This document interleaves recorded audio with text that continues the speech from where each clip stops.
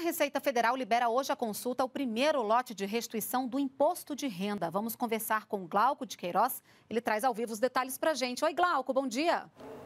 Renata, bom dia para você, bom dia a todos, né? Isso mesmo, a consulta, né? O primeiro lote estará disponível a partir das 10 horas da manhã né, na página da Receita Federal e também em aplicativos para dispositivos móveis. Nesse lote contempla também aí restituições residuais de exercícios anteriores. E o pagamento será feito para mais de 3 milhões de contribuintes aí no dia 31 de maio. No total, cerca de 6 bilhões de reais. E esse lote contempla, né? E, é, grupos prioritários, como idosos, pessoas com deficiência e professores. Já o segundo lote, né, ele será pago aí no dia, a, a, consulta será disponível aí no dia 30 de junho. Né? Lembrando, né, Renata, que os contribuintes têm apenas uma semana né, para entregar a declaração deste ano. Né? O prazo termina na próxima terça-feira, dia 31 de maio. Especialistas né, sempre recomendam não deixar para a última hora, né, já que existe a possibilidade aí do sistema da Receita Federal ficar sobrecarregado. Quem perde o prazo caso, fica sujeito a multa de 1%